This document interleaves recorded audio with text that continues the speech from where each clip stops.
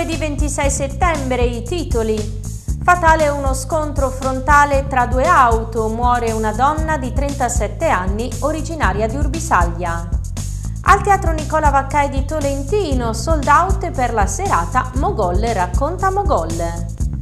Scollinare Film Festival, la seconda edizione a Tolentino dal 4 al 6 ottobre prossimi. E nello sport rinsaldato il legame tra il gruppo medico Fisiomed e Volley Macerata.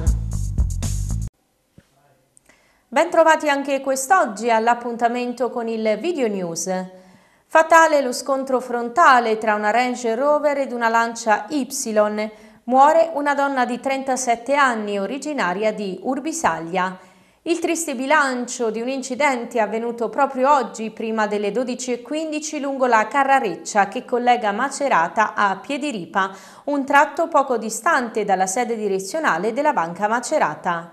Sul posto i sanitari del 118 e della Croce Rossa che hanno prestato le prime cure agli occupanti delle vetture, ma per la conducente della Lancia, la 37enne, non c'è stato purtroppo nulla da fare. La donna è stata trasferita d'urgenza in eliambulanza all'ospedale regionale Torrette, ma le sue condizioni sono apparse sin da subito critiche, tanto che è spirata poco dopo il ricovero. Praticamente illeso invece il conducente dell'altra auto. Con una breve ma intensa cerimonia, l'amministrazione comunale di Valfornace ha reso omaggio al luogotenente Pier Alberto Diamanti, comandante della locale stazione dei Carabinieri in occasione del suo pensionamento. L'amministrazione ha consegnato una targa ricordo al luogotenente esprimendo gratitudine per i tanti anni di servizio dedicati alla comunità. Un gesto che testimonia l'importanza del lavoro svolto dal comandante nel garantire la sicurezza e nell'offrire aiuto anche durante l'emergenza sisma ai cittadini di Valfornace. Al via nelle Marche lo screening neonatale per la SMA, atrofia muscolare spinale, una patologia neuromuscolare rara caratterizzata dalla progressiva degenerazione dei motoneuroni spinali che porta ad una paralisi muscolare progressiva e alla perdita del controllo volontario del movimento. Questo contribuisce a prevenire la grave disabilità associata alla malattia.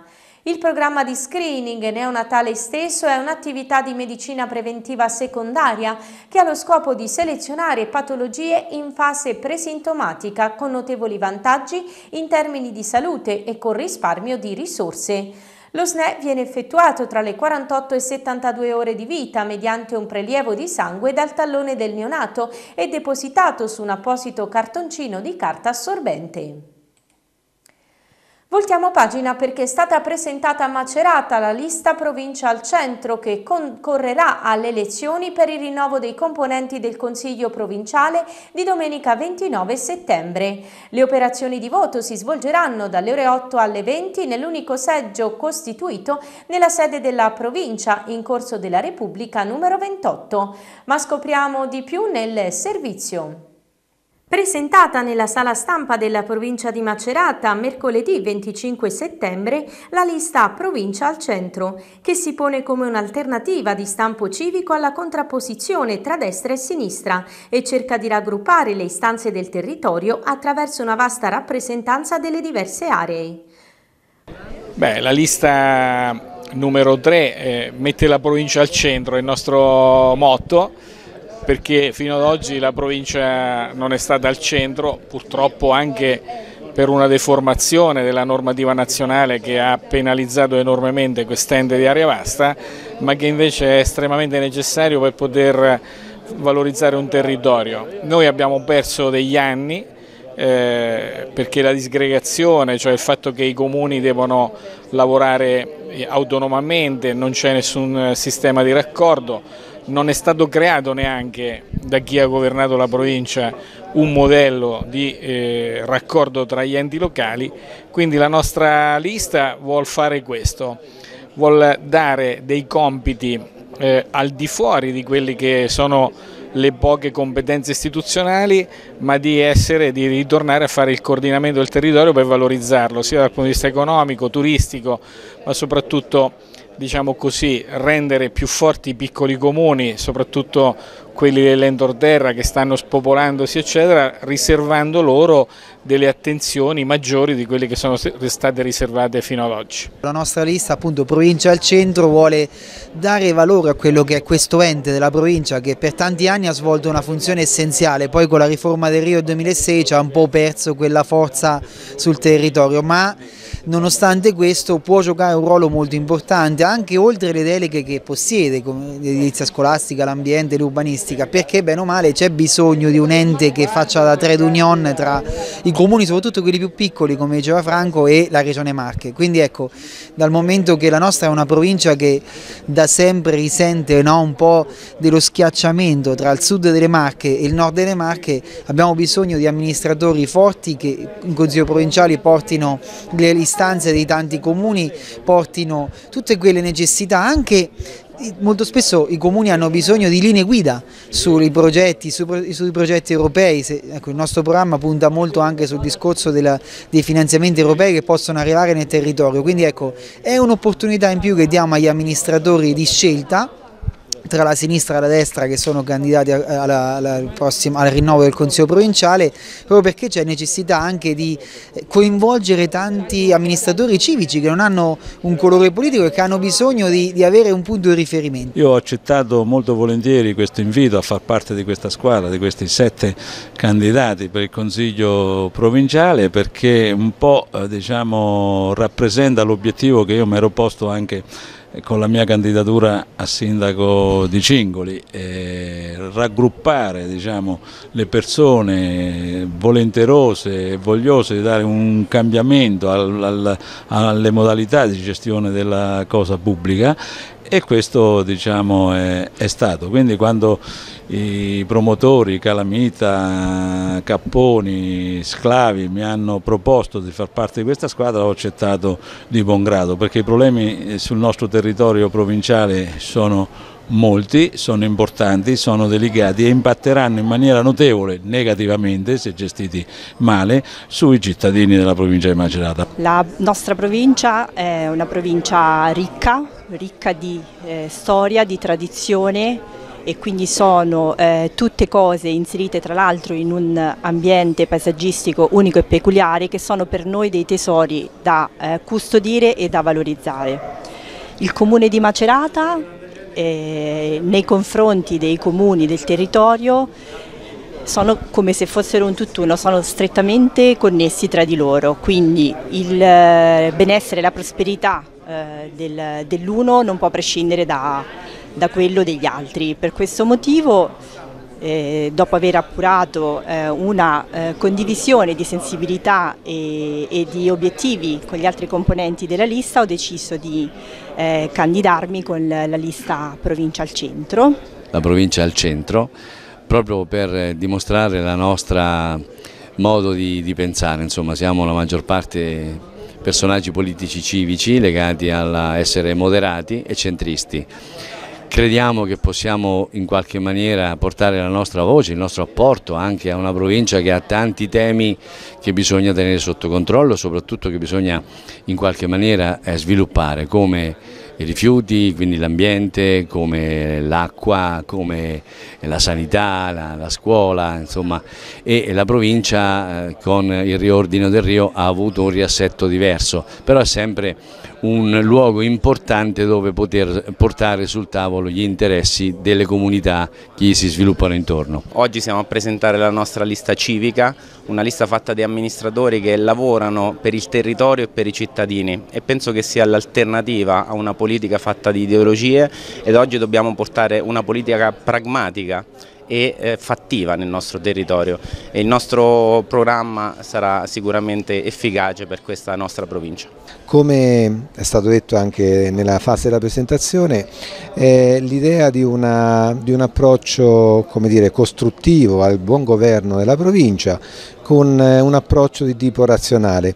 Quindi noi come consiglieri uscenti eh, ci siamo fatti diciamo, da parte per poter consentire ad altri amministratori del territorio di poter mettere al servizio della, di tutta la provincia di, di Macerata, di tutti diciamo, gli abitanti, un, un servizio appunto di buon governo, di buona amministrazione con un approccio di tipo costruttivo di idee, di proposte e di ragionamenti da fare insieme. Sono nata e cresciuta in questa provincia e l'esperienza maturata anche nel ruolo che ricopro, che ho ricoperto, eh, mi ha dato quella, quella, spinta per intraprendere questo percorso perché ho potuto vedere da vicino quali sono le, le sfide quotidiane che le nostre comunità devono affrontare ogni giorno quindi credo di avere l'energia e la visione necessaria per eh, affrontare i prossimi impegni, per rimettere la provincia al centro, così per dare, per dare un, un, legame diciamo, al nostro progetto,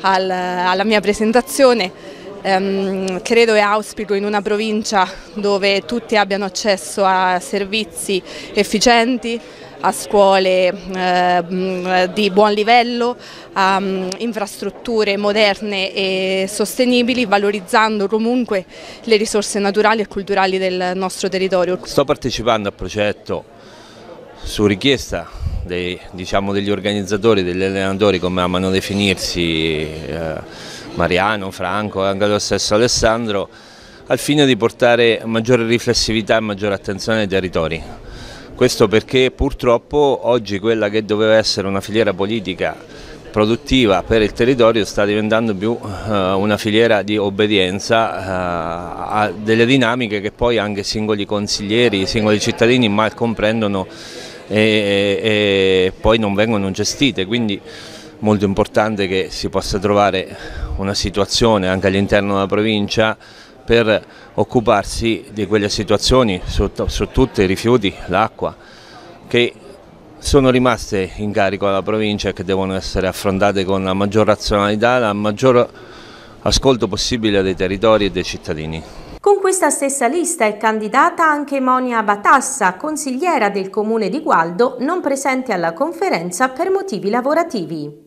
Dal 27 al 29 settembre Santa Maria in Piana diventa la capitale del gusto per la tredicesima edizione del Festival della carne bovina di razza marchigiana, che promette tre giorni di pura spensieratezza per adulti e bambini. Le giornate saranno animate da live band e DJ che vi accompagneranno fino a notte inoltrata. Per informazioni è possibile visitare la pagina Facebook Santa Maria in Piana Treia. Riaprirà ad ottobre il secondo sportello per le imprese e liberi professionisti denominato Fondo Nuovo Credito, che ad inizio 2024 ha visto esaurire le risorse stanziate pari a 20 milioni in poche settimane. A comunicarlo è l'assessore regionale al credito Goffredo Brandoni. Le richieste di accesso all'agevolazione potranno essere presentate solo online sul portale creditofuturomarche.it. Gli studenti delle sedi di San Severino, Camerino e Matelica dell'Ipsia Pocognoni hanno avuto l'occasione di incontrare il regista e scrittore Maglio Castagna presso la sede di Matelica nell'ambito del progetto SIAE CHAC Azione. L'evento ha visto Castagna condividere con i ragazzi aneddoti della sua carriera nel mondo del cinema. L'incontro si è rivelato anche un'occasione importante e formativa per gli studenti. Mogolle racconta Mogolle e Giulio Rapetti lo ha fatto raccontando se stesso ieri sera al Teatro Vaccai di Tolentino. È stato accompagnato sul palco dalla cantante Monia Angeli, da Stefano Nanni al piano e da Mirko Guerra alla chitarra. Ma scopriamo di più nelle interviste di Luca Romagnoli. Motocicletta,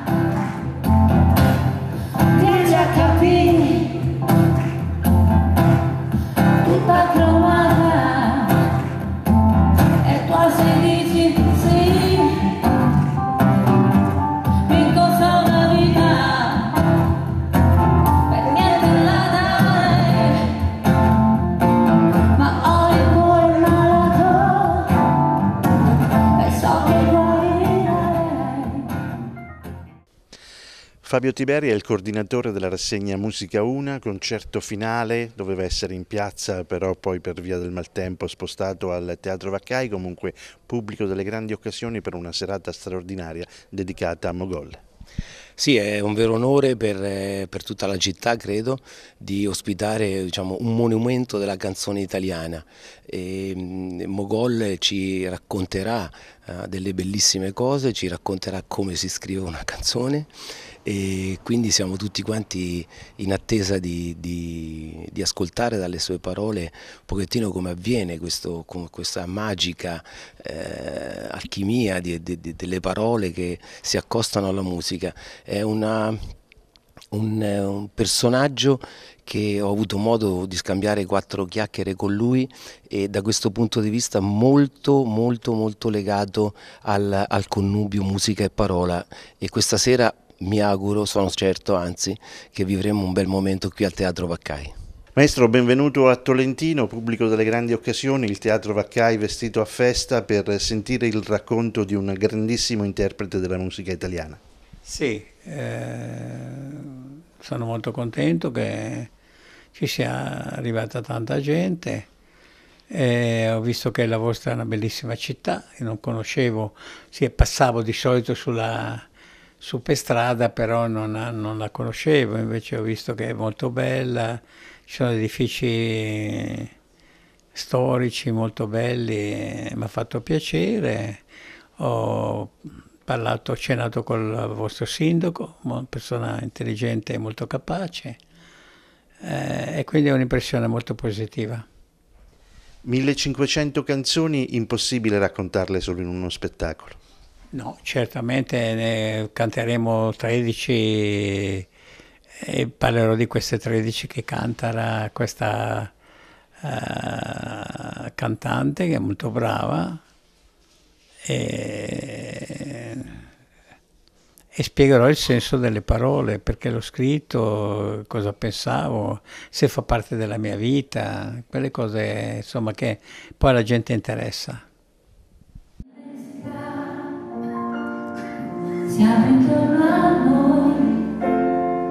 Al di là del limite, negli occhi tuoi.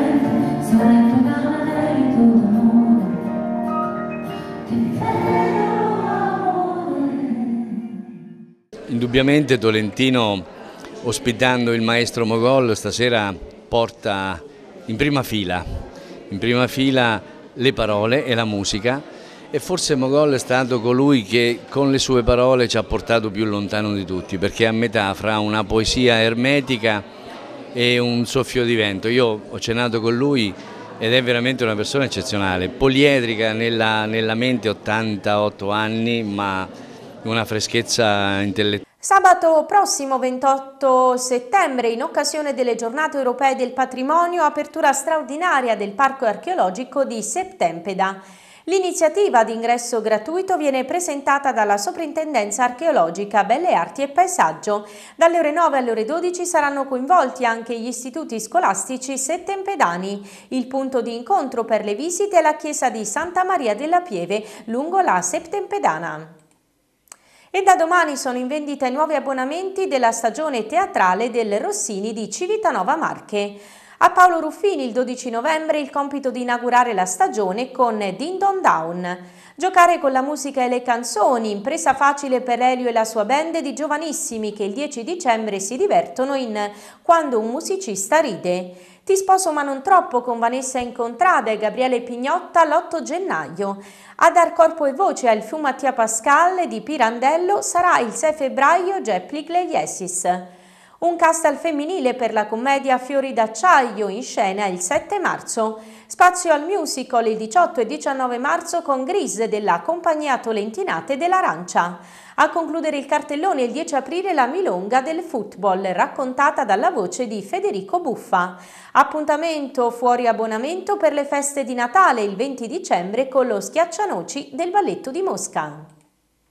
E il Festival Civita Nova Danza volge al termine sabato 28 settembre con Focus Alessandro Sciarroni. Tre lavori dell'artista eclettico, coreografo geniale, attivo nell'ambito delle performing art, Leone d'Oro alla carriera per la danza. E dopo il successo della prima edizione, Scollinare Film Festival torna con una novità. Cambia location e raggiunge il centro storico di Tolentino, dove dal 4 al 6 ottobre proporrà proiezioni all'aperto, eventi di piazza, incontri e laboratori aperti alla cittadinanza, come ci hanno raccontato nei nostri studi due degli ideatori. I prossimi 4, 5 e 6 ottobre la città di Tolentino ospiterà per la prima volta la seconda edizione dello Scollinare Film Festival. Quest'oggi qui in studio con noi Damiano Giacomelli e Leonardo Accattoli, due degli ideatori e co-direttori artistici di questo festival che nella sua prima edizione ha riscosso davvero grande successo di pubblico. Iniziamo con te Leonardo, come è nato questo festival?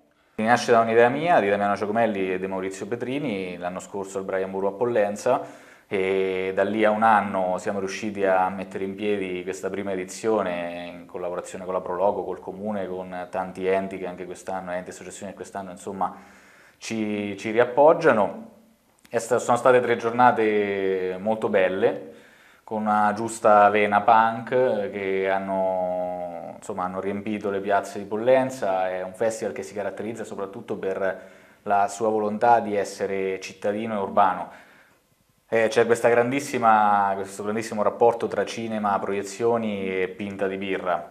Eh, non a caso, insomma, essendo nato in un pub, l'abbiamo, l'abbiamo impostato così e quest'anno lo portiamo avanti. L'anno scorso è nato in, in collaborazione con Brian Buru, quest'anno spostandoci a Tolentino lo faremo in collaborazione con il Green Room. E, ehm, quindi ecco, è un festival che, che unisce più cose, non, non, non, si tratta solo di proiezioni, ma si tratta di una serie veramente di eventi, sono tre giornate in cui c'è la possibilità di spaziare in ogni direzione. Damiano, entriamo quindi più nello specifico di questo ricco programma delle tre giornate, aperitivo inaugurale venerdì 4 ottobre a partire dalle ore 19 proprio al pub.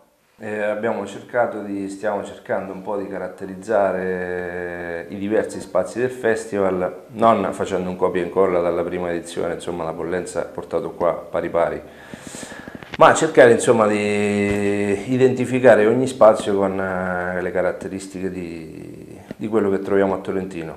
Io a Tolentino vivo da, da qualche decennio, eh, complice Officine Mattoli, che è il progetto che portiamo avanti dal 2010 qua di formazione cinematografica e non solo e, quindi un po' alcune zone le conosco meglio, su alcune zone diciamo c'è anche un valore affettivo maggiore. E il festival abbiamo deciso di calarlo soprattutto su una zona di centro storico in cui io da quando vivo a Tolentino non mi è mai capitato di vedere festival diffusi, diciamo all'aperto, quindi in vari punti del centro storico. La zona va, per chi è di Tolentino, diciamo, dal Green Room idealmente fino a Piazza Madama, quindi occupa Traversa della Croce, tutti quei vicoli che arrivano fino a, poi al centro Santa Teresa e in questa zona qua abbiamo quattro location principalmente in cui facciamo diverse cose. Una di queste quattro è quella che citavi, giù, che citavi tu, che è appunto una sorta di portale d'ingresso del festival, perché noi faremo delle sonorizzazioni dal vivo eh, accanto al Green Room Pub sostanzialmente, che collabora attivamente tra l'altro all'organizzazione del festival. In mezzo a tutte queste cose che abbiamo detto, l'augurio nostro è che si, creano proprio, si creino degli scambi, delle reti, il senso di fare proprio un festival diffuso in un centro storico è che le persone poi si incontrano, vengono fuori altri progetti, vengono fuori altre energie, i festival dovrebbero servire a questo, a parte timbrare il cartellino sul singolo evento, no? anche che intorno agli eventi uno crea una rete di relazioni, di energie positive che, che, sicuramente può aiutare sia la nostra idea di, di cinema, eh, sia allargare proprio la visione rispetto a come adesso, magari ci auguriamo un futuro anche per il festival più, più ampio, più diversificato. Come auguro anch'io come Nabiano che ci sia un, un, giro ampio che non coinvolga solo appassionati di cinema ma appassionati in generale, neanche di arte, proprio appassionati in generale, gente che abbia voglia di, di, di conoscere e di, appunto, e, e di aprirsi nuove strade. Mm, ribadisco in chiusura di seguirci quindi sui vari social, di prenotarsi per tutte quelle che sono le attività che prevedono prenotazione e per ringraziare tutte le, tutte le istituzioni e le persone che ci sostengono, quindi a partire dalla, dalla Regione Marche, Fondazione Marche Cultura, Marche Film Commission, insomma già il secondo anno che, che, ci appoggiano, il Comune di Tolentino come ho detto prima, tutte le associazioni che comunque fanno parte della rete, i nostri sponsor e tutte le, le persone che stanno lavorando a Scollinare, insomma affinché questa edizione sia un successo. In questi giorni una delegazione guidata dal sindaco di Tolentino Sclavi e composta dal comandante Isidori e dal nuovo vicecomandante Mari della Polizia Locale si è recata in visita a Modugno in occasione dei festeggiamenti dedicati ai santi patroni San Rocco e San Nicola da Tolentino. Ad accoglierli il sindaco Nicola Bonassia ed il vice sindaco Giuseppe Montebruno che hanno sottolineato i legami di amicizia che legano queste due realtà.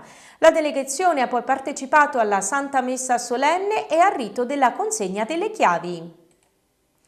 È stata inaugurata invece nei giorni scorsi la mostra collettiva di arte contemporanea, fotografia e documentaria Liberazione e Libertà, promossa dall'AMPI con il Comune, per celebrare l'ottantesimo anniversario della liberazione della città di Tolentino, avvenuta il 30 giugno del 1944. La mostra è allestita alle grotte di Palazzo San Gallo e sarà visitabile fino al 6 ottobre. È aperta al pubblico con ingresso gratuito nei giorni feriali dalle 18 alle 20 e i prefestivi e festivi dalle 11 alle 13 e dalle 18 alle 20. Sono 54 i maceratesi, over 65, che hanno preso parte al progetto di turismo sostenibile promosso dall'assessorato alle politiche sociali del comune di Macerata, con destinazione Terme San Giacomo di Sarnano. L'iniziativa anche in questa edizione ha riscosso grande successo. L'IRCRA ha avuto un ruolo centrale nell'organizzazione del progetto, gestendo il servizio di accompagnamento anche con i ragazzi del servizio civile. Vediamo invece ora le previsioni meteo per domani e dopo una breve pausa pubblicitaria lo sport. Previsioni per venerdì 27 settembre.